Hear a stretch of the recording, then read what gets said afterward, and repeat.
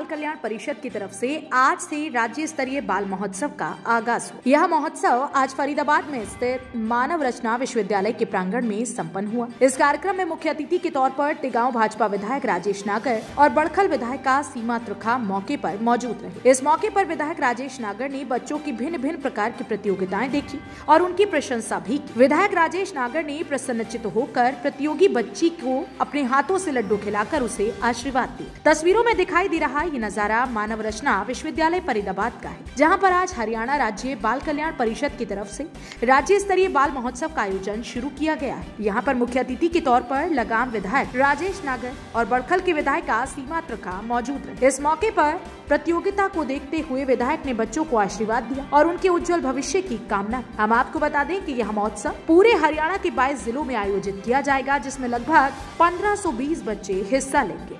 ये हमारे फरीदाबाद ज़िले के लिए बहुत गर्व की बात है कि ये बाल महोत्सव जो राज्य स्तरीय है, हमारे फरीदाबाद में हो रहा है और इसका सारा क्रेडिट हमारे परवीन अत्री जी, कमलेश शास्त्री जी को जाता है और मैं मानव रचना के अमित बल्ला जी को भी धन्यवाद देता हूँ जो उन्होंने यहाँ पर ये कार्यक्रम होने के लिए अपने प्रांगण, अपना स्कूल अपना कॉलेज दिया और इस तरह के कार्यक्रम होते रहे क्योंकि बच्चों को अपना टैलेंट दिखाने के लिए एक प्लेटफॉर्म की ज़रूरत होती है।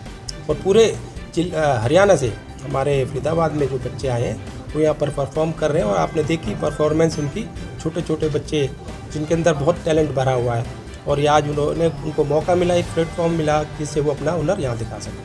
देखो, बच्चियाँ हमारे लिए लड्डू लेकर आई थी, बल्कि लड्डू के हकदार वो हैं, जो इतनी छोटी छोटी बच्चियाँ कितना अच्छा परफॉर्म कर रही थी वो तो इसलिए उनको लड्डू खिलाए। तो ये हार जीत तो दोनों हिस्सा है, ज़िंदगी के पार्ट है।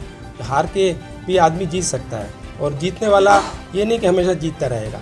हारने वाले को भी कोशिश करनी कि अगली बार वो भी जीते। फरीदाबाद के मानव रचना के जो हमारे सभी लोग हैं जिसमें विशेष तौर से अमित जी और प्रशांत भल्ला जी, उनका भी आभार प्रकट करना चाहती हूँ कि पूरे हरियाणा के बच्चों को आज इसी स्थान पर एकत्रित किया गया। और जैसा भी हमने जाकर के देखा, solo dance, solo singing group dance and group singing फिर बेस्ट ड्रामेबाज और सबसे ज़्यादा जो खूबसूरत चीज़ मुझे लगी कि जहाँ हम डांस को देख रहे थे और गानों को सुन रहे थे, उसमें फोक टच ज़्यादा है। ये ऐसे कार्यक्रम चलते रहने चाहिए, ये हमारी एक कैलेंडर का हिस्सा बन जाने चाहिए। और परवीन अत्री जी जिस प्रकार से इसे पूरे हरियाणा में टेकअप कर रहे हैं, मैं सोचती हूँ कि आने वाले समय में ये और बेहतर होंगे और ज़्यादा से ज़्यादा लोगों तक अपना पैगाम पहुँचाने में सक्षम रहेंगे।